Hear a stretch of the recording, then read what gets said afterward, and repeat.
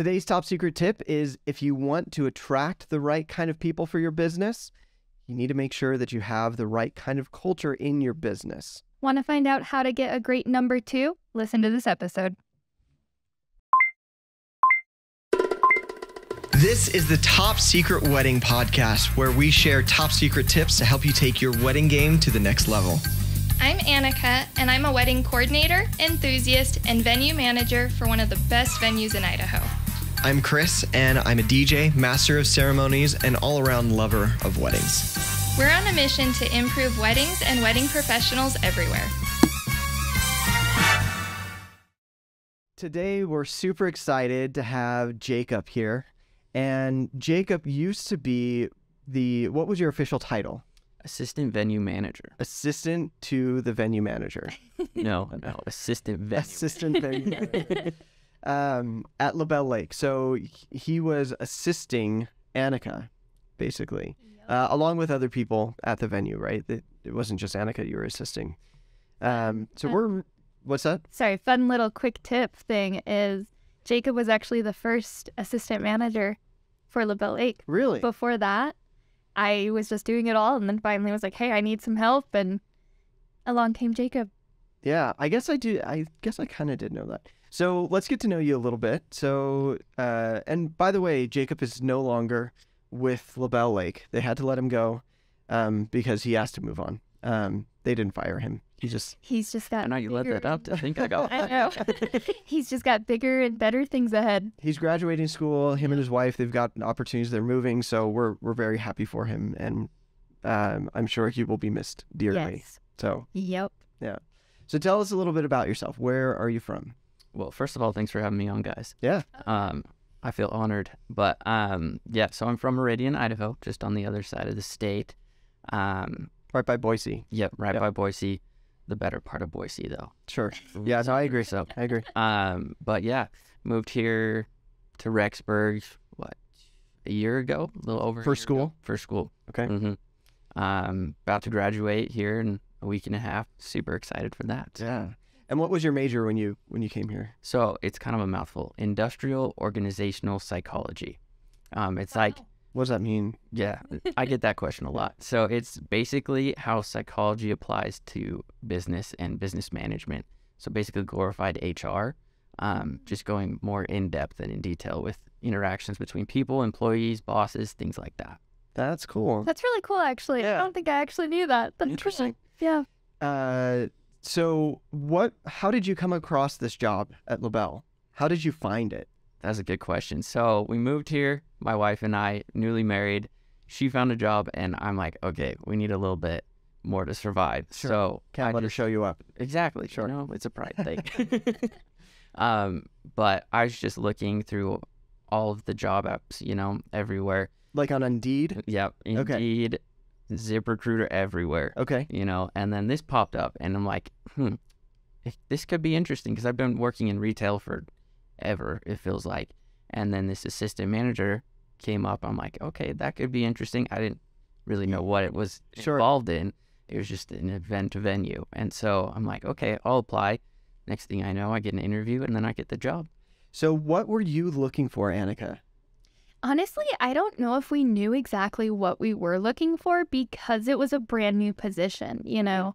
Um, you know, we just had Kira on this podcast and we talk a lot about fine tuning and finding exactly what you need. And so this one we went in a little blind and we're like, okay, what do we need? Like we know we need someone who's organized. We know we need someone who's comfortable on the phone and on emails, but besides that, we really didn't know. We kind of just started interviewing people and we're like, okay, what do we need? I don't know.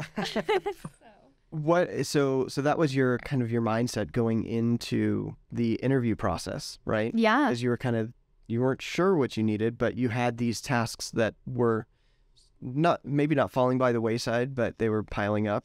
Yeah. No, exactly. It it all started piling up and I think a lot of it too was saying, okay, well, these are the responsibilities that we need help with, but we really were looking for someone who would kind of tell us what we need, which I think you did great at. But saying, you know, it's it's easy to say, well, this is the job, answer emails, answer phones.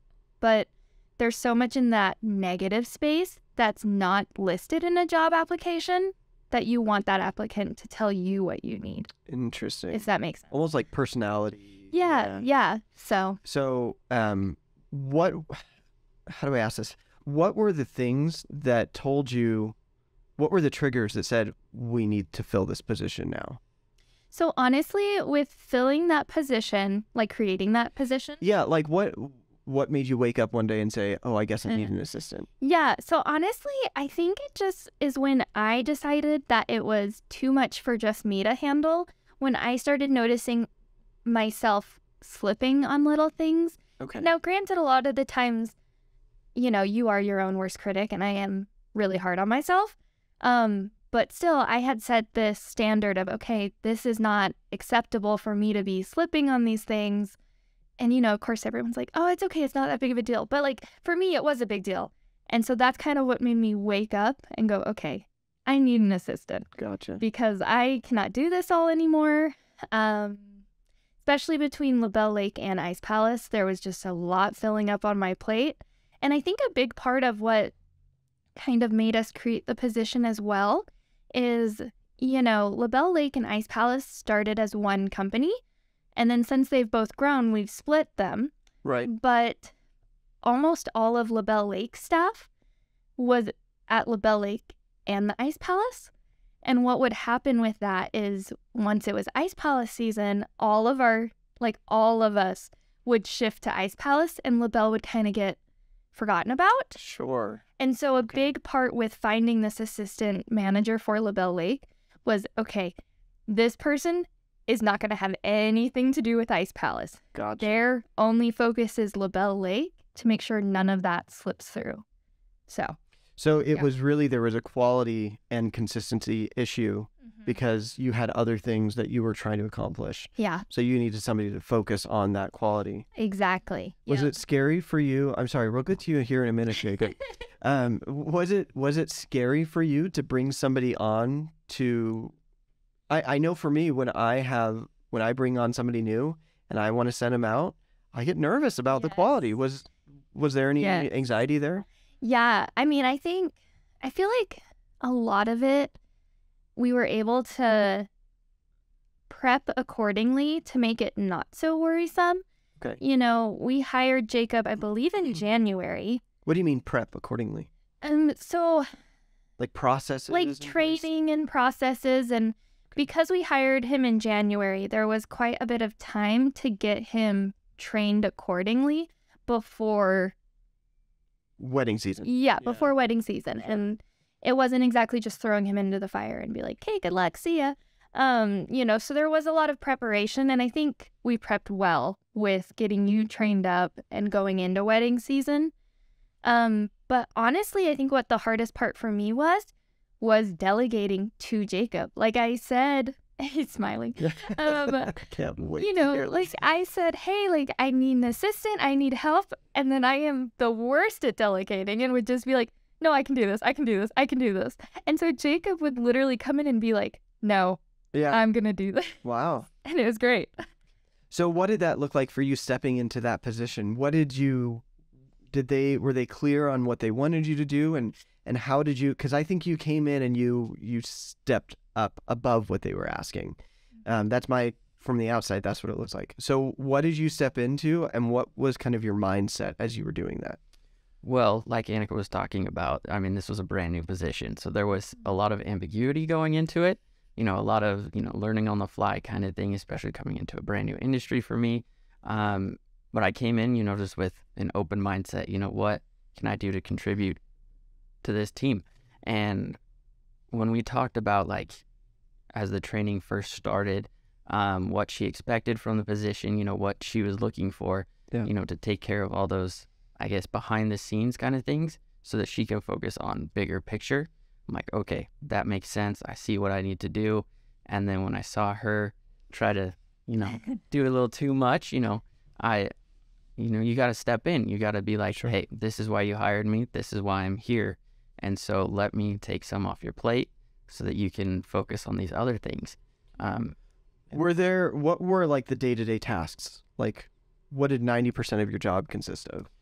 contact with clients, um, a lot of phone calls, a lot of emails, and then a lot of For for what? Like what were you contacting them for? yeah. So for a couple different items, um, a lot of inquiries. We'd get a lot of people asking about the venue, about pricing, about dates, Okay. um, and so I would answer all those questions um, via phone call, email, stuff like that. Okay. Um, as well as you know, I kind of took care of the financial the invoicing. the invoice. Yeah, yeah. Okay. And so just following up with clients who had already booked and signed contracts, making sure they were staying up to, you know, with their deposit and everything, um, things like that. Was was there any part of your job um that you didn't know how to do? Well, I knew how to answer a phone, Okay. so I got that down. But as far as like what I was gonna say Yeah. on the phone call, I had no idea. How did you learn? That was an interesting process for sure. A lot of trial and error for sure. Okay. A lot of bouncing things off of Annika as well as other members of the team. Gotcha. but you know i just kind of picked it up as i went along because like like i said i was brand new to the industry so i didn't know what what okay what am i doing here what is what is the answer what are they asking I mean, Jacob started in January and you had gotten married like earlier that month yeah, like Wow. the same month. Okay. Interesting. So, um, one of the things I didn't want to skip was what attracted you to this position? Because it's really difficult to find really good people, right? So, what were the things that they were putting out there that you picked up on that you were like, this is the kind of job for me? well i was looking for you know taking a step forward getting Okay. out of you know what i'd already been doing looking for something new and looking at the um ad job ad Yeah. on Indeed, you know, it LaBelle Lake, it just screamed professional. You know, it Oh, just it's so nice to hear. That's interesting. Yeah. and so I'm like, okay, this could be a good opportunity to get my foot in the door to see how a small business works. Um, you know, be part of a team, and I thought it was really interesting as I was doing more research on LaBelle was how family centric it is, and that's something I really look for out of an employer because having worked in these large retail chains, you know, you're just a number sometimes it feels like.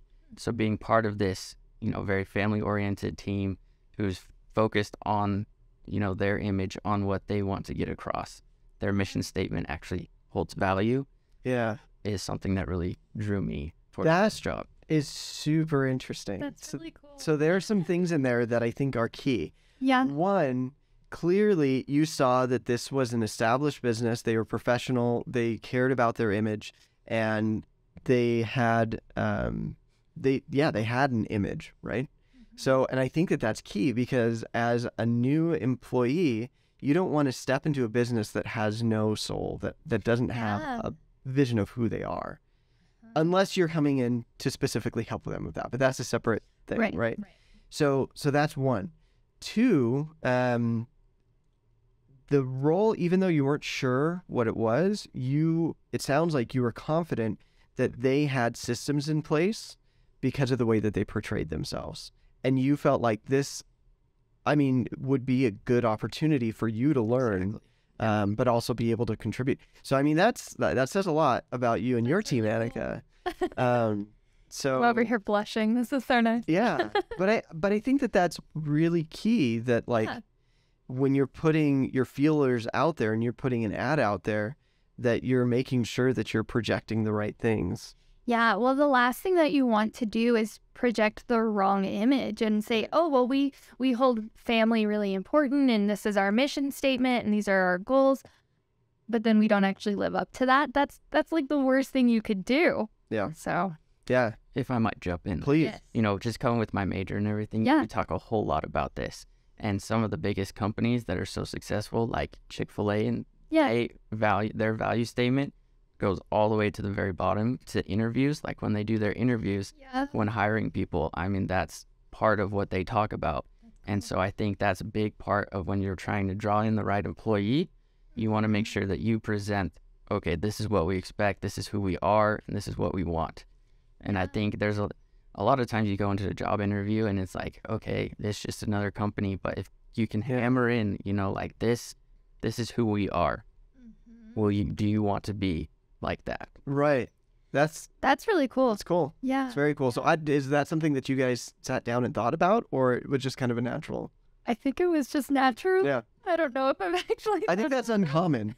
Um, but if, if that's not something that you've done, you should sit down Yeah. and talk about the mission statement. We had a, a bonus episode Yeah. that was really short, but it's got some really good stuff packed in there. Yeah. Um, I think it's like our least listened to episode. Um, but it's got some really good stuff in there about Yeah. setting up a mission mission statement and things like that, um, which this clearly speaks to that you've done a good job with. That's awesome Yeah. hear. Yeah. Well, and that's just the thing too is, you know, I feel like it is so important to set your business up. I don't know. I just feel like like you said all the super successful, okay, not like you said, opposite of what you said. There are still a lot of super successful businesses that technically have a mission statement or goals, Yeah. but it's like you wouldn't even know that looking at them. And so it's just so important to find what makes your business unique and live by those goals. He was stepping into a culture. Exactly. Yeah. Exactly. That's, that's cool. So that's really cool. I love it. So now that you're in the job, right? Let's let's take you back to that time. You're in the job. How did you support those around you, Annika, and anybody else that you needed to support? How did you do that without stepping on their toes? That is a good question. I think coming in with the mindset of see a need, fill a need. I mean, just Mhm. being that kind of Swiss Army knife, Yeah. I guess you could say, of okay, this is what you need. All right, I'll step in, I'll do it. That kind of thing. Learning from everyone on the team and then using those skills to move forward and progress. And so, not stepping on toes, it was kind of flirting with like the boundaries. Okay, how much can I get away with much here? can I Like, Sure. Oh, how much can I push Annika and say, no, I'll take that on? And when to back off, you know, there's a lot of give and take there. But I think mm-hmm. over time, that just kind of, you build those relationships. How did you feel stepping into that assistant manager position when there were other staff on the team that had been there longer than you? Oh, I was super nervous. I'm not gonna lie, I was super nervous. You know, you come into like this established organization and you're the new guy and you don't know anything about the industry. But I think it, it was a really good opportunity because it, you know, humbled me a lot. And so then I was more open to work with these people, learn from them. I didn't have these pre-established ideas of what, okay, this is what, like a tyrannical kind of thing, like this is what I want kind of thing. So I think it was beneficial coming in and working with those people, establishing those relationships, and then, but still presenting the, you know, I am the assistant manager here. Yeah. So I do have a little bit of authority kind of thing, Yeah. but not abusing it, I guess, if that makes sense. Yeah, totally. And the cool thing is LaBelle is still growing, right? Yeah. And so because because of that, and I maybe every company should always be still growing. Yeah. So that you can you, you shouldn't just be happy with the status quo. So you coming in and saying, you know, making judgments and and nudging things one way or the other is probably a good thing. Mm. So For sure. yeah. Um what was your what was your favorite part of the job? I think my favorite part of the job was being there for the wedding ceremonies. Not the invoicing? No, no, Oh, okay. no, we'll put that. I mean, that's a close second. Yeah, you know, close. But Sure. no, I loved being there for the wedding ceremonies. I mean, the culmination of everything. Like, I just got to see the behind the scenes stuff, Yeah.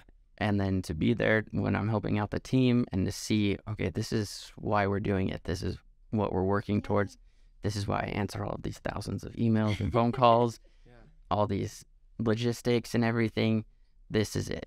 To see these two people happy, united, and I just loved it. I mean, there's such a special feeling there of just love when you get to be a part of that, even though like I'm some random stranger to these people, but you feel like you're a part of something, and I love that feeling. Yeah, it's that's one of my favorite parts about being in this industry. Oh yeah. You do all Yeah. this work and then the ideas come and you and you remember like that's Yeah. why we're here. Uh, most surprising thing about about working in this industry. I guess just how much is involved and Okay. how much like because I got married like we talked about that same month and Yeah. so I'd gone through the process and then coming to LaBelle I'm like oh my gosh I would have done things so differently if I could go back and do Sure. it again Same. and so I think that was the most surprising part is everything that is available, like everything that is you can offer. Mm-hmm. And I think LaBelle did a good job of okay, here's everything that we offer. We'll help you do all these different things, get you in contact with the right people. And I think that really surprised me was how much being with the right people helps you make connections to make your day perfect, if that makes sense. Yeah, Definitely. totally. Definitely. Okay, I'll ask this next yeah, one. go for it. Um, so I don't think it's any surprise that the wedding industry is very female dominated. Yes. So how was stepping into that female dominated industry, but also workplace? Like as far as LaBelle Lake's team, besides our grounds crew manager, like Mostly women. yeah, like we were like we still are like 90% Yeah. women, if not 95%. So how was that stepping into that position with so many girls? It was a lot of fun, actually. I mean, I really enjoyed it. Um, I think, you know, both both sexes bring a lot to the table, and Totally. where like some people struggle, other people make up. You know, we complement each other very well, and so I think being part of that, you know, female dominant industry is was such a good learning experience. I mean, you get to learn about, you know, how I think interactions, you know, that's the huge Yeah. one. Was okay, how can I approach the situation better? Because mm-hmm. I mean, I'm very analytical, you know, think logically kind of thing. And so, which sometimes comes off as impersonal. And so, working with Annika, especially, you know, seeing how to communicate better, how to empathize better, and work with others better, I think was a really good learning experience. It was also very different than anything I've ever been a part of because usually it's, you know, pretty equal, but Yeah. it's very, it was a very good experience. Yeah. But on the flip side of that, I remember that was something I was so excited when you accepted the job. I was like, oh, we're going to get a guy in here. Yeah. And like, okay, it's not really a secret. Girls can get a little hormonal and catty and emotional, and you know what I mean. And I don't know what you mean, but whatever. I'll You take your. don't I'm just kidding. I was like, wait. Um, and you know, of course, my whole staff and team, they're we're all great. It's not as much within the house, but even just like dealing with an emotional bride on wedding day and mother of the bride and just just a bunch of girls. It was really cool to bring Jacob in, who does have a little bit more of a I want to say level head, but I don't know if that's the right word, but a little more Different eh, perspective. different perspective, Yeah. a little more analytical instead of just emotional, you know? And so that was really cool. And I mean, it would even go as far as like, I mean, again, I'm a girl, so I overanalyze everything and yeah.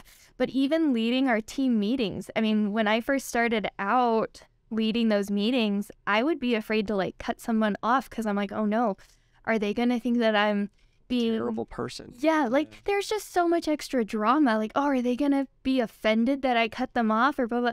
And you bring Jacob in, and he's like, "We need to move on." Yeah. And I was like, "Oh, this doesn't have to be dramatic. There doesn't have to be all these little things." Like, so it was cool from that perspective as well. Yeah. Good Yeah. job, Jacob. Oh, thank you. I. Appreciate it. Um, any any pet peeves that you had with uh, with wedding vendors or things that you saw that they did well that you liked? I'll, I'll start with the first half of that question. Okay, There's great. definitely um, some tricky situations that you get into with vendors, and it all comes Did you deal with vendors? occasionally, Okay. yes. Um, and it all comes from a lack of communication. I feel like that with a breakdown of communication when the other side, like, because I know here at LaBelle, that is a huge thing Yeah. communication, communication, communication. And so when the other party doesn't reciprocate that communication, it just leads to a lot of difficult situations. And there were a number of times where, you know, there was miscommunication, no communication, and it turned into some big fiascos that Yeah. Yeah. we were definitely able to solve, of course, Yes. but it just was It could have been frustrating. avoided. hmm Yeah. I agree with that. Thousand percent. Um, the second half of that question that, you know, vendors that do really well are professional but also personable. And so I really liked vendors that got to know the staff. You know, Yeah. I think it's one thing to show up and then do your job well, but I think it's another f- thing entirely to show up, do your job well, and get to know people. And so I think with some of the vendors that I worked with, a big thing was just them coming up and asking me my name, how I was doing, that kind of thing. Just establishing those relationships. And those were the vendors that I wanted to recommend Sure. because they reached out to me. They didn't have to. I mean, I was just setting up tables on the day of, you know? Yeah. But to have them come and, you know, want to interact, that was huge for me. And I think that personal relationship is vital. That's so true. Cause I mean, like, you know, like I know you, Chris, and, you know, there'll be times where I'm looking through a details meeting or I'm talking to a bride at her details meeting and she's like, oh, we have Chris Davis. And I'm like, yes, I love Chris. He's great. You know, and there's a lot of vendors, but if you don't have that relationship, it's just, it's different, you know? So, I mean, these are your coworkers. yeah, exactly. They they happen to be you happen to only work with them once every, you know, yeah. three weeks or something like that, depending on the vendor. But um like that is that's part of the fun, I think. You know, getting to know these different people. Yeah. So yeah, I, that's that's interesting. I hadn't heard that one before. Yeah, I like That's that. good. But I, I, I do think that that's important because you never know when you're going to need that person's help. And if you've been a jerk to them, Yes. um, I mean, you might be losing business, It's frankly. true. So it's true. Yeah, that's great. Um, okay, let's do a quick, quick round. Quick of- round. Yeah, yeah. Okay, so we're gonna rapid fire some some questions out. Yeah. Say that. Um, and these are just like fun questions, right? Okay. Okay. Favorite color? Blue, Blue. but like a baby blue. Oh, Baby Okay. blue. All right. Okay. Uh, celebrity crush, This is a tough one, but I'm gonna have to go with Emma Watson. dude. Hundred. Dude, Yeah, I think she's Yep, gorgeous. definitely. Yep. Um, favorite place you've gone? So my favorite place would probably be Paris. You've been Wait. to Paris? Yeah. What? I didn't Wow. that was cool. I really want to go. Went on top of the Eiffel Tower. I think that was my favorite place. Like That's awesome. Where'd you get married? Uh, Meridian. Meridian. Yeah. Okay. And uh, favorite wedding food. Oh, jeez, that's tough. Oof. I remember. Okay, this may be dumb, but there was one wedding that had just this gourmet layout of char- uh, charcuterie. Charcuterie. Yeah. Yeah. Yeah. It was so good, so good. I don't know. It's just delicious. Grown up loved it. Lunchables. Love it. Oh, it's Yeah. great. Favorite animal. A hippo. A hippo. Oh. Yeah, I love hippos. They're This is vicious. a recent development in my life, but I love hippos. My wife makes fun of me all the time, but I think they're majestic. What's your spirit animal? I know I always ask that. always and i still don't have a good answer for it um but you know i think i'm gonna go with like a jaguar you know Love it. I'll buy that. yeah Yeah. Yeah. they're they hide in the background but then they can be pretty tough but then they're also awesome looking not to say that i'm awesome looking but you know we think you're awesome looking. Oh, thank yeah. you. Well, Jacob, thank you so much for being our uh, our guest today. Um, there are some really interesting things in this. one, Yeah. so- No, I am. Yeah. yeah. That's great. Great. So thank you for sharing your insights. We wish you all the best in everything that you do. And uh, yeah, thanks again. yeah thanks for having me guys it was awesome Thanks. Thank you for listening to this episode of the Top Secret Wedding Podcast. Subscribe, rate, and review us, and we'll see you next time.